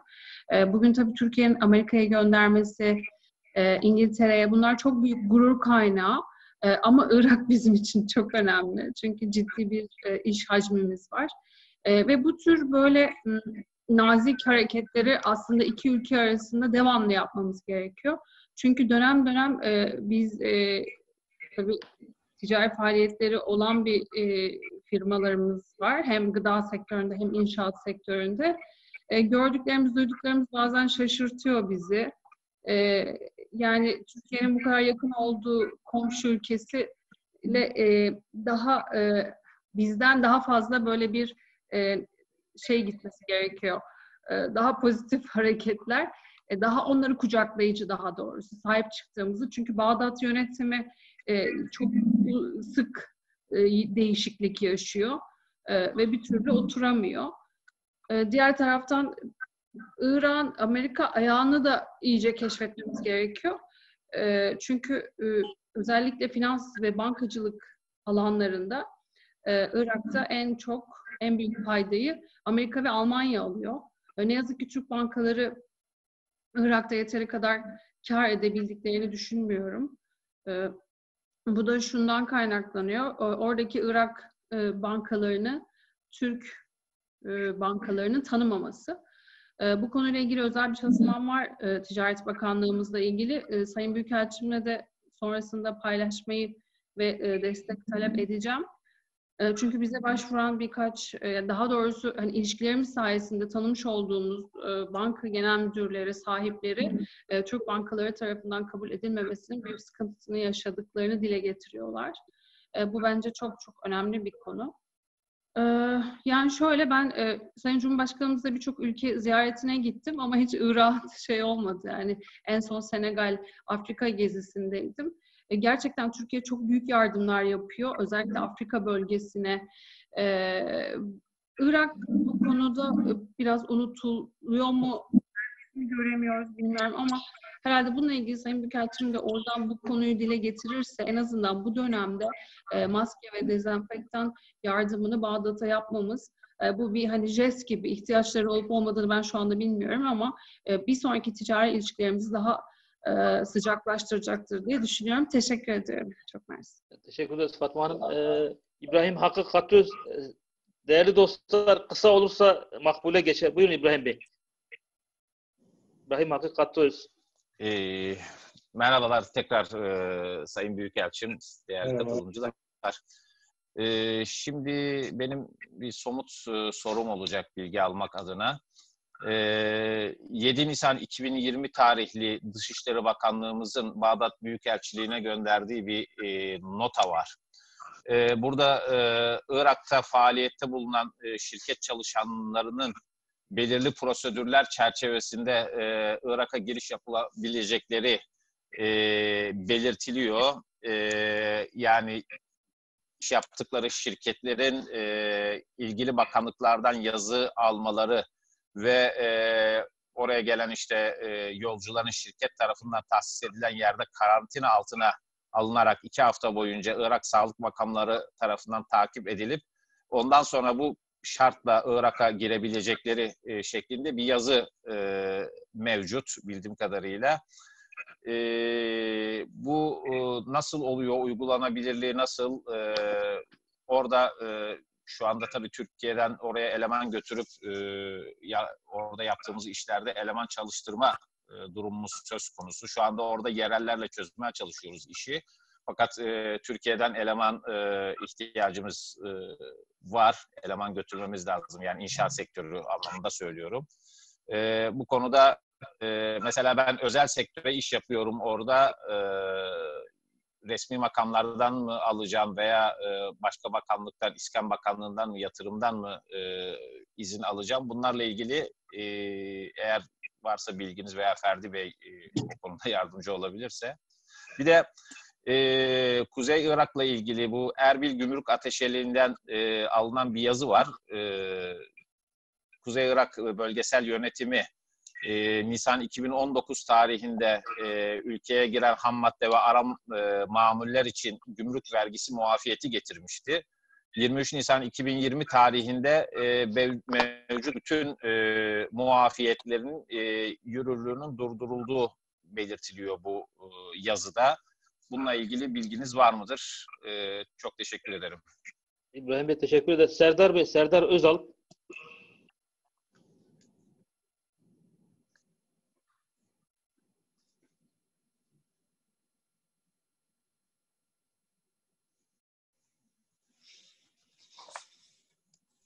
Neaf Bey çok uzadı artık yavaş yavaş toparlamakta yarar var. Merhabalar. Merhabalar. Ee, Erhan Construction. Biz de Irak'ta 8 yıldır e, bulunmaktayız. Ee, şu an devam eden 4 projemiz var. Madi bölgesinde e, ve e, güneyde Necef'te, Nasriye'de. E, ben buradan ilk başta sadece Büyükelçime bir teşekkür etmek için söz almak istedim. E, kendisi ve ekibi e, bu Nisan ayında e, çok ciddi bir operasyon yaptılar. Burada bulunan birçok Türk vatandaşını çok profesyonelce, çok disiplinli ve sorumlu olan, çalışma izni bitmiş olan, vizesi bitmiş olan bütün insanları toparlayarak, tek tek arayarak, e, ikame müdürlüklerini arayarak, e, bakanlıkları arayarak, her yere yazılar göndererek 2-3 gün içerisinde çok ciddi anlamda bütün vatandaşları toparlayıp buradan tahliye ettiler. Ben açıkçası e, hani elçilikten bizimle irtibata geçtiklerinde bunu çok başarılabileceğini düşünmüyordum. Çünkü burada sistem çok karışık. Çözülmesi mümkün olmayan şeyler vardı ve Sayın Büyükelçim e, sokağa çıkma yasağı olduğu bir dönemde burada e, her şehirden bizim çalışan işçilerimizi, vatandaşlarımızı gece 11-12'lere kadar takip ederek herkesi konvoylarla toparlayıp buradan tahliye ettiler. Teşekkür ediyorum kendisine, e, personeline. Yani gurur duydum. Çok başarılıydı. Ben başka bir ülkenin, başka bir büyükelçiliğin bu kadar burada kuvvetli olup e, bastırıp vatandaşına sahip çıkacağını düşünmüyorum. Kendisine tekrar teşekkür ederim. Sayın Büyükelçim son iki soru müsaadeniz olursa. Tamam. Ee, Demin Şevket- 3-5 tane soruldu ya. Şevket, kaç, Şevket Bey buyurun. Ee, Başkanım İbrahim Hakkı Bey zaten bizim e, sormak istediğimiz sorulara e, tercüman oldu. Diğer arkadaşların da hakkını gasp etmemek için e, aynı soruları ben tekrarlamak istemiyorum. İbrahim Hakkı Bey'in cevapları bize yeterli olacak. Teşekkür ederiz. Yeterli. Sayın Halil Coşkun buyurun. Sayın Büyükelçim, e, öncelikle şeyi soracaktım. Yani Nisan ayında yaklaşık 3000 kişi e, sizlerin ve Basra'nın, Musul'un işte elçilik ve konsoloslukları ile tahliye ettiniz. Gerçi o haberi yapma şansını da yakaladık. Ha burada sizin gönderdiklerinizi biz karşıladık, haberini de yaptık. E, o tahliyeler sürecek mi onu soracaktım ben. Teşekkür ediyorum. Ee, Sayın Büyükelçim e, kısa kısa bir iki tane ben özetleyeyim bir iki cümleyle e, sorulan sorular var. E, yani Türkiye Irak arasında uçuşlar ne zaman başlayabilir? E, karayolumuz ne zaman açılabilir? E, onun dışında e, malumunuz bugün inşallah yeni kabine de e, meclis toplanıyor. Yeni kabine de e, inşallah bugün seçilir. Toplantı yaptığımız bir günde olursa çok daha iyi olur. Ee, bir de e, inşallah e, ticaret merkezi daha önce de arz etmiştim. Ticaret merkezi e, ile ilgili de e, sizden e, destek arz ediyoruz Sayın Büyükelçim. Buyurun söz sizde Sayın Büyükelçim. Peki çok teşekkürler. Hemen e, çok süratle e, e, yanıt vermeye çalışayım. E, hemen e, Habur, Habur sınır kapısına e, giden yol. Evet bu, bu önemli. E, yani Türkiye kanadında aslında çalışılan e, ve belli noktalarda ilerleme sağlanmış olan ama bence de yeterli olmadığını düşündüğüm e, bir konu bu. Biz de buradan e, bunu dikkate getiriyoruz. Çünkü nakliyecilerimizin de hep dikkatimize getirdiği konulardan biri. Habur sınır alanında ki düzenlemelerde mesela en son bu tampon bölgede de ciddi iyileştirmelere gidildi. Sınır alanında evet iyileştirmeler iyi noktaya geldi ama oralara gelen yolların da haliyle e, daha iyi getirilmesi e, çok önemli. E, kesinlikle e, üzümlüğü hani bir kenara bırakırsak aslında tek e, sınır kapımız var diyebiliriz. Kesinlikle tek sınır kapısının yeterli olduğuna inanmıyoruz biz de. E, bu kadar büyük bir ticaret hacmi için işte örnek verdiğiniz gibi resmi 8 tane, gayri resmileri de hesaba kattığınızda İran'la ondan fazla kapı var aslında. Ee, ve bizimle hemen hemen aynı e, ticaret, e, ihracat düzeyindeler. Ee, Türkiye'nin en azından bir e, e, sınır kapısına daha ihtiyacı e, olduğunu inanıyoruz. O yüzden bu e, Ovaköy konusundaki aslında ısrarımız e, devam etmekte. E, 2018'de aslında ciddi bir ivme yakalamıştık e, bu konuda. E, ama kabul etmek lazım. Bunu e, bir şekilde kendine tehdit olarak algılayan taraflar da var Irak'ta. Özellikle Irak Kürt Bölgesel Yönetiminin ikinci bir kapının onları bypass etmeye yönelik olmadığı konusunda ikna edilmeye ihtiyaçları var. Aslında e, ikinci bir kapı yani Ovaköy sınır kapısı da e, yine e, Irak Kürt Bölgesel Yönetiminin bulunduğu bir alana açılıyor. Çünkü bizim e, Irak'ın Kürt Bölgesel Yönetiminin haricindeki kısmıyla doğrudan bir fiziki bağımız yok.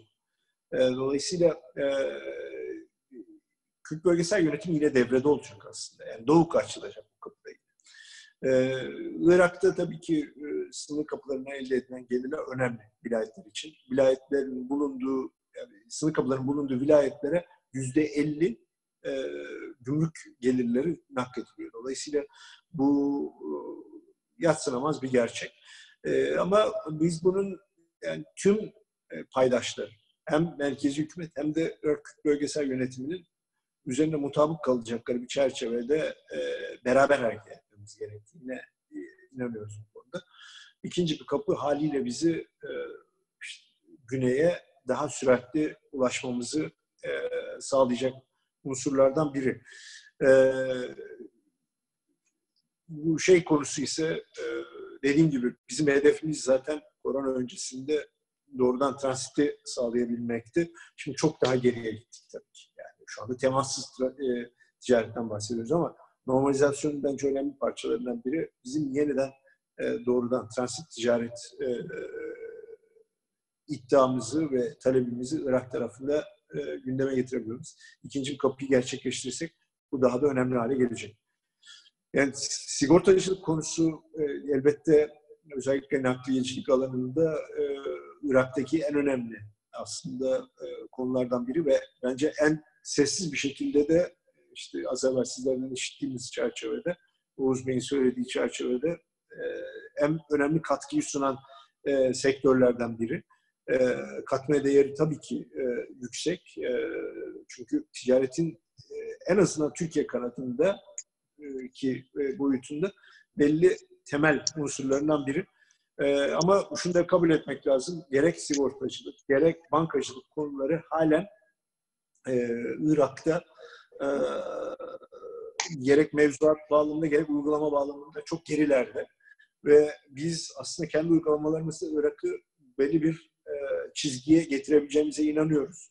E, ve e, işte temas ticaret boyutunda da aslında çok süratle çözümlerin bulunmasında sigortacılık sektöründe çok önemli katkısı bulundu. Onun için de teşekkür ediyoruz. Ee, önümüzdeki dönemde e, Irak açısından e, COVID'e ilişkin olarak yaşamı nasıl etkileyeceğine dair kestirilebilir bir şey söylemek gerçekten güç. Çünkü bizimki gibi böyle bir e, şeffaflık içerisinde işleyen bir sistem yok. E, yani vaka sayılarının paylaşıldığı, ölüm sayılarının paylaşıldığı bir sistemden bahsetmek gerçekten zor. Ki dediğim gibi e, test sayısının bu kadar düşük olduğu bir yerde vaka sayısı konusundaki rakamlara da çok itimat edemeyiz. E, bu maalesef Irak'ın imkanlarıyla e, ilgili bir şey. Çin e, bunu belli noktada e, Çin'in aslında günahlarını temizleme operasyonu olarak da sunanlar var. Çin dünyanın farklı ülkelerinde e, çok ciddi yardım operasyonları yaptı. E, test kitleri sağlama konusunda. Burada da onu e, belli ölçüde yerine getirdi. E, Çinlilerin sağladığı bir klinik var ve e, büyük ölçüde de yine Çin tarafından sağlanan e, test kitleriyle yapıyorlar zaten e, bunları. E, ve önümüzdeki dönemde buradan çıkabilecek rakamlar çok sağdaki gerçekleri yansıtmayacaktır açık söyleyeyim. Ee, ölüm sayısı daha yüze varmış değil. Ama şundan hemen herkes emin toplumun içerisinde. Aslında daha fazla sayıda insan ölüyor ama gerek toplumdaki kültürün icadı, e, yani insanların hastaneye gitmemeleri, e, gerekse ölüm vakalarının aslında e, raporlanmaması sonucunda ölüm oranları dahi çok gerçeği yansıtmıyor. Evet, maske, dezenfektan yardımı bence de Türkiye'nin buraya o yardımda bulunması lazım. Türkmenlerin olduğu bölgelere belli sayılarda maske gönderdik. İşte Musul'du, Kerkük'tü ama bizim e, hep başından beri söylediğim gibi e, Türkmen odaklı değil, e, tüm Irak'ı kapsayacak e, yardım konusu, insani konularda olduğu noktada tüm Irak'ı kapsayacak bir e, vizyonla yaklaşabilmemiz lazım. Çünkü bu insani bir mesele. Ee, ve dolayısıyla Türkmeni, Kürt'ü, Arap'ı bunların hepsine erişebilecek yardım faaliyetlerini düzenlememiz lazım. Bizim de aktardığımız konulardan biri Ankara. Ankara'ya. Ankara'nın bunu değerlendirdiğini e, biliyorum. E, finans ve bankacılık e, işte Fatma Hanım'ın söylediği gibi e, az evvel de işaret ettiğim gibi Irak'ın çok geride olduğu konulardan biri. Bankalarımız aslında e, çalışıyor ama bankaların çalışmasını da çok aşırı regüle edilmiş, aşırı düzenlenmiş bir bankacılık sistemi var. Türkiye'deki gibi işleyemiyorlar. Normal bir mevduat bankacılığı dahi aslında Irak'ta e, mümkün olmuyor. Bankaların buraya gelip de yaptıkları en önemli şeylerden biri buradaki döviz piyasasında e, mezat dediğimiz işlere gidiyorlar ve burada gerçekten karlı e, alanlardan biri. Ama bankaların vizyonu, Türk bankalarının en azından vizyonunun bunun çok daha ötesinde olduğunu söylemeliyim ama o vizyonu biraz buradaki mevzuatta engelliyor. Bizce de hem ticaretçi hem müteahhit açısından çok daha işlevsel e, katkıda bulunabilmeli e, Türk bankaları. İbrahim Hakkı Bey'in sorularını e, en sona bırakacağım. Onu e, şeye e, Ferdi'den isteyeceğim yanıtlamasını. E, çünkü her ikisi de aslında çalıştığımız konular, e, dikkatimize getirilmiş olan konular bunlar. Aslında e, onlara ilişkin belli yöntemler var. E, özellikle bu gümrük muafiyetleri konusu benim de yakından ilgilendiğim. Maliye Bakanı falan da konuştuğum konulardan biri. Fer, e, Ferdi o konularda şimdi bilgi verir. E, Serhat Bey, e, Serhat Nişat'a çok teşekkür ediyoruz e, nazik sözleri için. E, vazifemizi yaptık. E, ve e, mümkün olduğunca da hiçbir vatandaşımızı biz e, mağdur etmek istemiyoruz sahada. Irak'ta zor şartlarda çalışıyor buraya gelen işçilerimiz. E, ekmek parası için e, insanlarımız e, buradalar. E, hem kurumsal boyutunda onlar bize destek oldu şirketlerimiz. Biz de insani boyutunda devlet olarak vazifemizi e, yaptık ve insanlarımızın hak ettik. İnşallah e, Halil Bey'in sorusuna da yanıt olarak tahliye süreci devam edecek mi? Çok önemli ölçüde erittik Halil aslında. Ama halen e, gün be gün e, alıyoruz e, talepleri.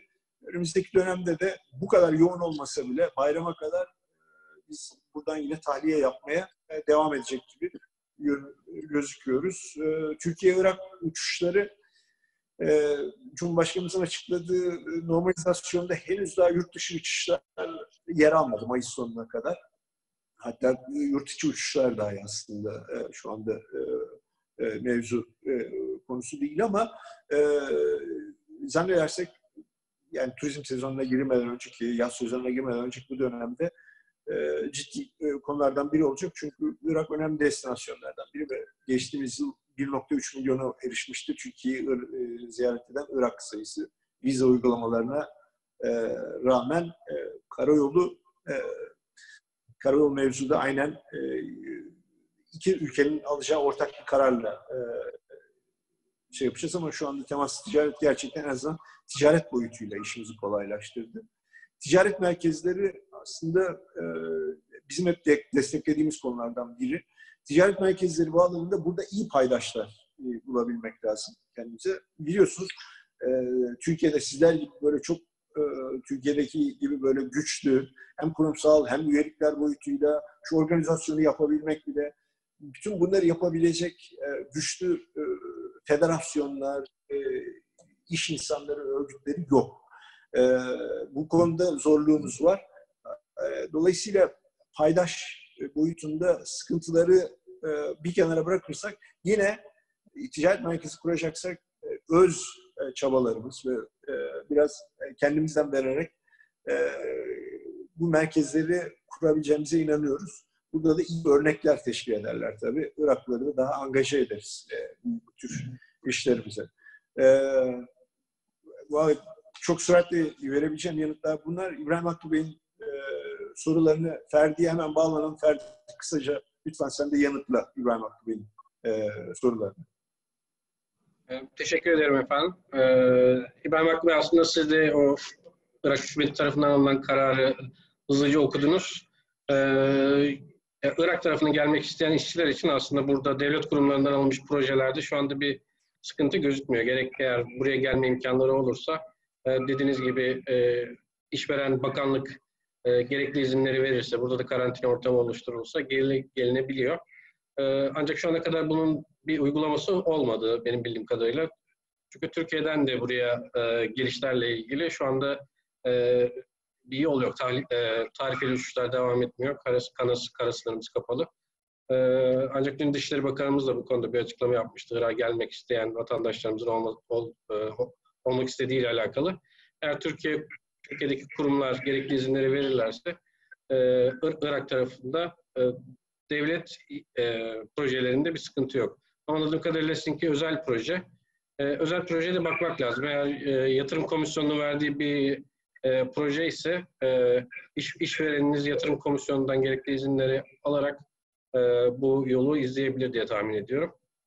E, bu İKB'nin e, muafiyetleri kaldırılması ile alakalı bu e, geçen sene İKB'nin kendi içerisinde başlattığı bir uygulama var. E, o bölge içerisindeki yatırımlara gelecek ham maddelerin e, gümrük muafiyeti uygulanması ile alakalı. Böylece yatırımların maliyetlerini düşürerek e, yatırımların karlılığını arttırmaya yönelik e, bir e, hareket.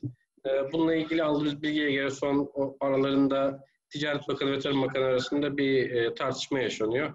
Çünkü patates e, ithalatında gümrük vergi, orada gümrük muafiyeti uygulanıyor ve Tarım Bakanı biz e, zaten patates üretiyoruz. Niye e, ürettiğimiz patates muafiyeti uygulanıyor diye itiraz ediyor. Bunun üzerine Başbakanın aldığı bir karar var. E, bu ürünleri iyi inceleyelim. Hangilerini üretebiliyoruz, hangilerini üretemiyoruz. E, gerçekten üretemediğimiz ürünlere muafiyet verelim diye ama e, topyekun bütün e, muafiyetler durduruluyor. Yatırım projeleri olsun, devletin yaptığı projelerde sağlanan gümrük muafiyetleri olsun. E, bunun geçici bir uygulama olduğunu düşünüyoruz. E, biz e, merkezi hükümetin bundan haberi yoktu açıkçası. Biz yaptığımız araştırmada e, bunu gördük. E, merkezi hükümetin e, kendi uyguladığı muafiyetlere bunun uygulanmıyor olması lazım. E, çünkü İKB tek taraflı olarak e, merkezi hükümetin verdiği muafiyetleri kaldıramaz. E, bu konuda bir eğer sorunla karşılaşırsanız sınırda eğer merkezi hükümette yararlanmanız gereken muafiyetler olur da burada bir engelle karşılaşırsanız biz e, gerekli girişimleri de yaparız. Ancak bunun geçici bir uygulama olduğunu zannediyorum. E, kendi işlerinde İKB yönetimi bir e, çalışma yapıp bu muafiyetleri e, uygulanması gereken uygula, e, ürünlere uygulayacaklar. E, tabii de bir de gelir boyutu var. Bu azalan petrol gelirlerinden dolayı e, gelirlerini arttırmak için yaptıkları bir uygulama da olabilir. Önümüzdeki dönemlerde bu gelirleri arttırmak için bu tip vergilerin arttırılması, muafiyetlerin kaldırılması bu tip durumlarla karşılaşabiliriz. Bunlara da e, bir, bir yandan da aklımızda bulunması hazırlıklı olmak lazım. Teşekkür ediyorum. Ee, Sayın, Sayın Büyükelçi Ferdi Bey çok teşekkür ederiz. Sayın Büyükelçim Nizamettin Bey'in bir sorusu vardı. Ee, oradan taleplerin toplanması ve e, bizlerle paylaşılması konusunda. Evet. Ee, bu önemli. Şimdi onu Ferdi Bey'le de e, e, konuşuruz. Nasıl bir e, yöntem izleyelim e, diye. E, çünkü yani sizlerin gelip gittiği ortamlarda tabii e, yüz yüze e, B2B ile e, veyahut da e, işte hani müferit olarak gelişlerde dahi bu daha mümkündü. Bu anlamda e, hani ticareti temassız yapıyoruz ama e, bir şekilde e, ticari olanakların da oluşturulmasını yine temassız olarak e, sürdürebilmemiz lazım. O noktada da temas noktası da biz olacağız yani. yani burada e, olanlar olarak. E, onu Ferdi Bey'le de bir konuşuruz, değerlendiririz. Belki böyle bir belli sektörlere yönelik olarak e, böyle bir e, piyasada e, ihtiyaçlara dair e, bir e, çalışma yaparız ve onu e, sizlerle e, paylaşırız.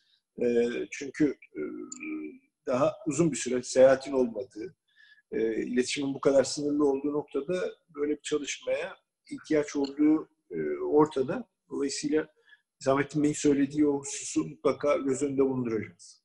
Efendim müsaade ederseniz e, aslında Ticaret, Ticaret Bakanlığımızın hali hazırda bütün dünyada e, e-ticaret, e, e-fuarlar, e-ticaret hayatları konusunda e, dünya çapında yaptığı bütün e, müşavirliklerle işbirliği içerisinde bir çalışma var. E, bu konuda mesela Güney Amerika ülkeleriyle bir e-ticaret, TİM'in geçen günlerde bir e-ticaret heyeti düzenlediğini biliyorum. E, tabii Irak özelinde Irak'ta e, gerek e-ticaret çok yaygın değil. Gerek online ödeme sistemlerinin olmaması, internet okuryazarlığının az olması, e-ticaret sitelerinin faaliyetlerinin e, pek pek olmaması, dünyadaki önemli ticaret sitelerinin buraya e, nakliye yapmaması gibi bazı engeller mevcut. E, ancak biz Irak Ticaret Bakanlığı Fuarlar ve Ticari Hizmetler Genel Müdürlüğü var. Buradaki fuarları da düzenleyen. Onlarla bir ön temasta bulunmuştuk. Hani bir şu anda planladıkları bir sanal, böyle bir sanal heyet, sanal ticaret, sanal fuar gibi faaliyet yok. E, ancak olursa talepleri değerlendirebileceklerini söylemişlerdi. E, eğer e, böyle bir Türk tarafından böyle bir talep gelirse onlarla iletişime geçerek e, bize e, aynı bu şekilde yaptığımız gibi muhatap bulmalarını e, şey isteyebiliriz. E, bu konuda e, çalışılabilir diye düşünüyorum. Evet ya böyle bir online B2B yapılacak yani. Evet. evet. Yani, e, karşılıklı olarak bir araya getireceğiz. Bence o e, gayet e, şey hani çağ işte dedik ya zaman ruhuna uygun bir e, ticari görüşme olur o da. Evet. Ee, Sayın Büyükelçim e, çok zamanınızı aldık. E, sizleri zevkle, zevkle izliyoruz. E, çok teşekkür ederim. Çok e, bilgilendik. Çok önemli konularda bilgiler aldık sizlerden. E, son olarak ekleyeceğiniz e, şeyler var mı? Ondan sonra da kapatmak istiyorum Sayın Büyükelçim. Çok teşekkür ediyorum. Başta size, TİSİAD'a bu organizasyonu yaptığınız için. Ee, bizler e, neticede Cumhuriyet'in, devletin, bizim buradaki temsilcileri olarak e, sizlerin buradaki e, menfaatlerinizin, çıkarlarınızın e, koruyucusuyuz, kollayıcısıyız.